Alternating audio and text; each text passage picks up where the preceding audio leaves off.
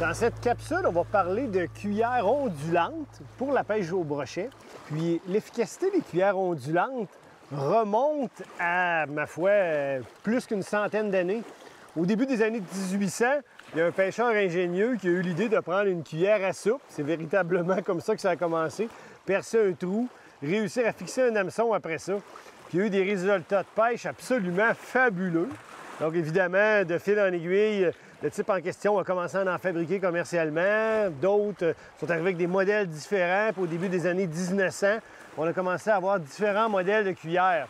Euh, à un certain moment donné, il y a eu une ondulante que tous on connaissent et ont vu dans le coffre de leur père et de leur grand-père, euh, la Daredevil rouge et blanche, qui capture encore des brochets. C'est peut-être pas le choix optimal, mais ça fonctionne encore. Euh, pourquoi ces cuillères-là sont si efficaces pour le brochet? En gros, il y a deux raisons. D'abord, c'est des leurres qui offrent beaucoup d'éclats lumineux lorsqu'elles sont en action dans l'eau. Donc, les brochets peuvent voir ça de loin et s'approcher. C'est aussi des leurres qui émettent beaucoup de vibrations. Dans le cas du brochet, les vibrations, c'est vraiment quelque chose de très important dans son mode de chasse. C'est un poisson qui, comme la plupart, a une ligne latérale pour détecter les vibrations, mais il y a aussi deux autres lignes latérales au niveau de la tête, ce que les autres poissons n'ont pas pour la plupart. Donc, c'est vraiment un poisson qui est très euh, à l'affût des différentes vibrations qui peuvent être une proie ou non. Euh, les cuillères ondulantes peuvent donc attirer les brochettes de loin et une fois rendus prêts, confondre encore les brochets. Euh, je vais commencer par, je dirais, la première avec laquelle j'ai eu beaucoup, beaucoup de succès, que je vais plutôt utiliser au printemps, au printemps en fait, jusqu'à la mi-juin généralement, quand l'eau s'est pas trop réchauffée. C'est une William Wobbler W50.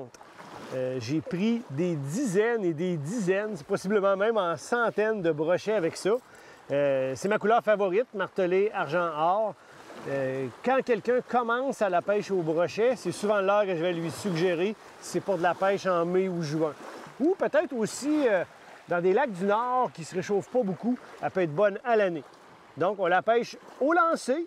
Ça fonctionne très, très bien. Toujours un avançon d'acier en avant, c'est ce que je préconise pour tous les modèles qu'on va voir. Puis on peut aussi la, pêcher à la traîne lentement avec un petit moteur électrique. Au besoin, on met un ou deux plombs en avant. J'ai eu du succès en faisant ça dans des petits lacs euh, de la région de l'Abitibi-Témiscamingue, entre autres. Une autre couleur que je tenais à vous montrer, avec laquelle j'ai beaucoup de succès. Donc, William Wobbler W50, un excellent choix. Il y a, quelques, il y a plusieurs années déjà, j'ai accompagné un ami à moi qui s'appelle Stéphane Vézina pour pêcher le brochet dans le fleuve. Stéphane euh, est un avide pêcheur de brochets et de masquinongés.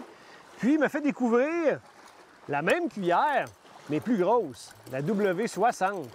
Donc, euh, Stéphane a beaucoup de succès avec ça sur le fleuve et un peu partout. Je l'ai adopté par la suite. C'est bien évident qu'on cible des brochets plus gros qu'avec l'autre modèle. Euh, est invisible pour les brochettes d'encore plus loin. Une autre couleur ici, mon numéro 2, mon numéro 1, mon numéro 2, au niveau des couleurs. Évidemment, ça peut dépendre des plans d'eau. Mais William W60, un autre excellent choix. Puis là, c'est pas rare d'aller chercher des pièces avec ça de, de 10-15 livres. Un autre modèle qui est dans une gamme à part tout à fait, que j'aime beaucoup, qui a une particularité que les autres cuillères n'ont pas pour la plupart, c'est qu'elle est courte et très large. C'est la William Trophy 2. Euh, cette forme très particulière-là fait qu'elle émet énormément de vibrations dans l'eau, mais c'est une cuillère qu'il faut récupérer lentement. Si vous la récupérez trop vite, vous n'aurez pas de succès. Pour séduire le brochet, c'est vraiment une récupération lente avec ça. Puis, ça fait bien les journées où le brochet n'est pas trop actif. Hein? Quand le poisson n'est pas actif, la vitesse, c'est un des facteurs avec lesquels il faut travailler. Dans la majorité des cas, ça veut dire ralentir. Mais cette cuillère-là, la Trophée 2, euh, fonctionne bien à vitesse lente ou moyenne lente. Donc, c'est un excellent choix dans ces conditions-là. Je veux toujours avoir une cuillère comme ça dans mon coffre qui peut travailler à des vitesses plus lentes pour quand le poisson est moins actif. Une autre aussi qui est tout à fait particulière, une cuillère anti-herbe. Hein, on le sait évidemment que les brochets aiment se tenir dans la végétation. Hein? Cette cuillère-là, qui existe depuis très longtemps et qui a fait ses preuves, la Silver Minnow, avec une broche en arrière qu'on replie un peu, qui fait en sorte que la majorité des, tiges et, de, la, végétation que rencontre le leurre glisse le long de l'hameçon. C'est vraiment bien fait. À l'origine, il y avait seulement euh, les, les modèles or et argent. Moi, je prends argent en eau claire par temps ensoleillé. Eau un petit peu plus brouillée ou temps couvert, on y va avec la or. Puis, euh, devant la popularité de ce leurre-là, la compagnie Johnson en a fait de plusieurs couleurs. Évidemment, on parle de pêche dans la végétation. Quel poisson à pas très populaire auprès des prédateurs se tient dans la végétation? Ben oui, la perche chaude. Je savais que vous le sauriez la réponse. Alors, on a aussi fait des motifs perche chaude, qui est une cuillère vraiment efficace pour utiliser dans la végétation pour capturer les brochets. Dites-le pas à personne, mais si vous pêchez un herbier où il y a de l'achigan à grande bouche, la grande bouche aime aussi la, ces cuillères-là, ce qui peut apparaître surprenant, mais j'ai capturé plusieurs grandes bouches avec ça. Mon dernier choix, et non le moindre, la cuillère pour les chasseurs de trophées, la William Whitefish, qui est vraiment disponible en toutes sortes de tailles.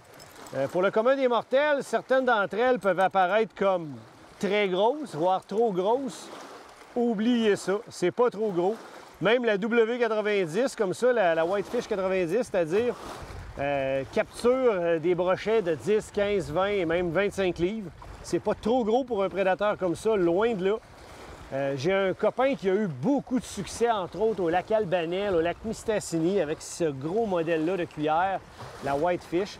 Donc, quand on a pris, disons, plusieurs brochets, on a eu beaucoup d'actions. On est prêt à sacrifier un petit peu de temps pour capturer la grosse pièce. On y va avec les grosses Whitefish, qui sont en quelque sorte des, imitations de Corrigan. Hein, un poisson à pas assez gros que le brochet euh, va se nourrir à chaque fois qu'il en a l'occasion dans les lacs du Nord.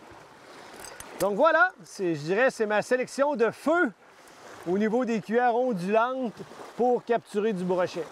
Pas besoin d'en avoir 23 modèles. Ce top 5-là vous garantit euh, beaucoup de succès.